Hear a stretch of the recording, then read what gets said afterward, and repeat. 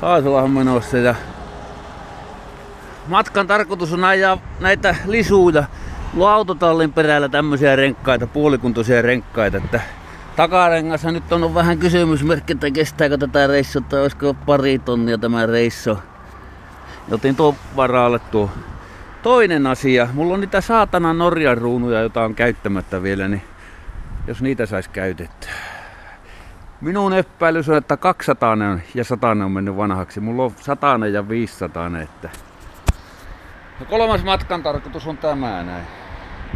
Mulla on kato nyt high Mulla on rukaan puku tässä päällä, niin tätä kokeil testaanko.